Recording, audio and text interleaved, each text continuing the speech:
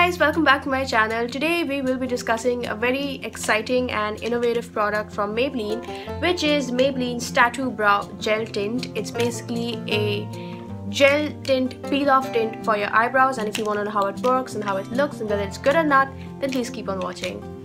So this is Maybelline's Tattoo Brow Tint and this one retails for 625 rupees for which you get 5 ml of product. So that's not a lot and it is quite expensive than the average brow product that you get in the market.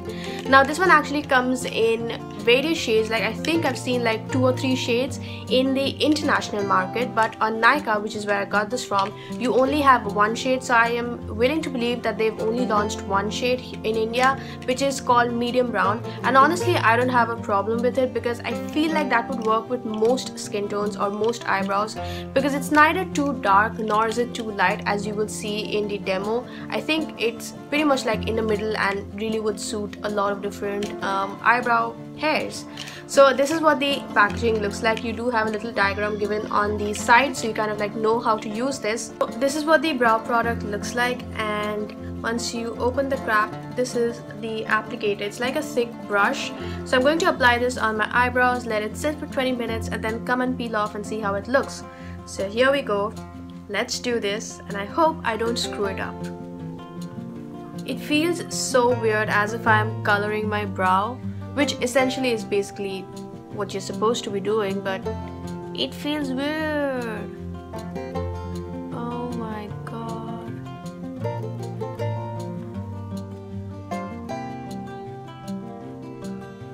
I am done applying them on my brows. This is what they look like. It looks so scary. And it essentially felt like applying Fevicol or lash glue like if you've ever used false eyelashes and the um, eyelash glue that you get it's basically like that. The texture and the feel of it and everything is very similar.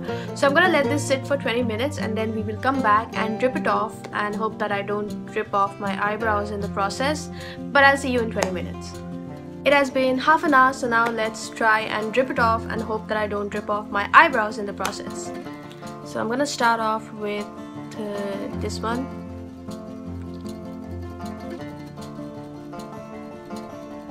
Oh.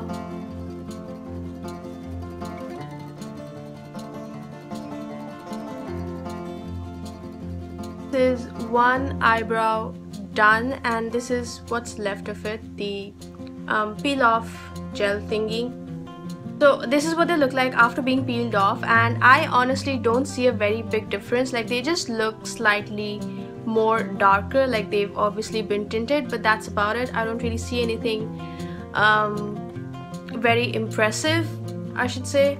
So hopefully you will be able to judge better but for me I just think that they've just turned a shade darker. That's it now let us sum up the pros and cons of this product. So the pros basically are number one, it's really fun to use. Like the whole like I am someone who is obsessed with peeling off stuff. So for me to peel off my eyebrow hairs and stuff is really fun. By the way, it does not really um, peel off your eyebrow hairs. And I think that would be like the number one concern for everyone who is willing to try this. That will it rip off my eyebrow hairs? The answer is no. It did rip off two eyebrow hairs of mine but not that much. It's very gentle. There is no way that you will actually rip off all of your eyebrow hairs with this.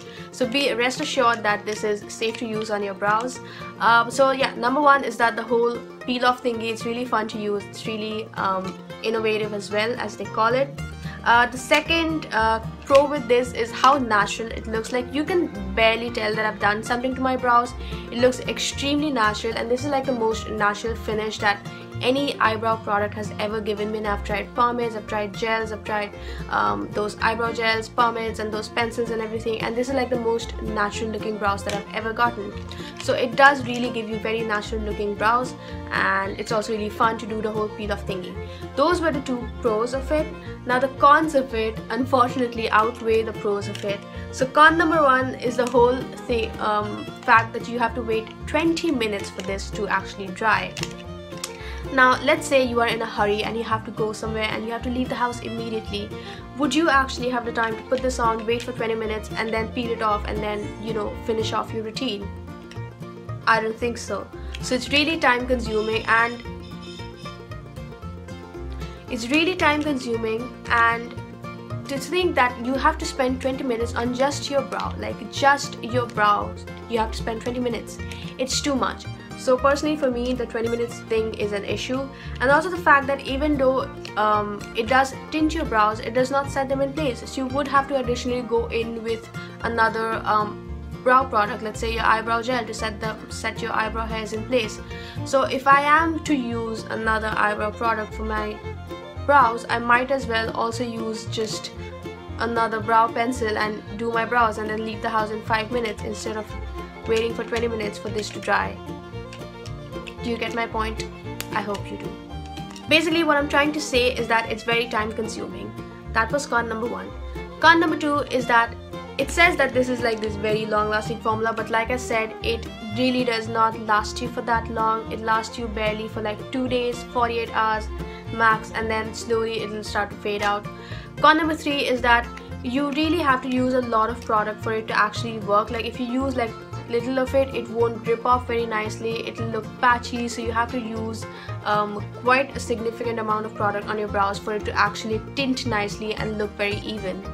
And considering the fact that it does not come in with a lot of product in the bottle itself I don't think this will last you for a very long time and it is pretty expensive than the average brow product like I said at the beginning of this video. So all in all I think that this has more cons than pros and for that reason I actually wouldn't recommend you to buy this. You can if you are looking for just a fun brow product to try or if you are really a fan of natural looking eyebrows but I think for more than one reasons I would actually advise you to not buy this. Just buy the regular eyebrow pencils and eyebrow pomades and gels that you have.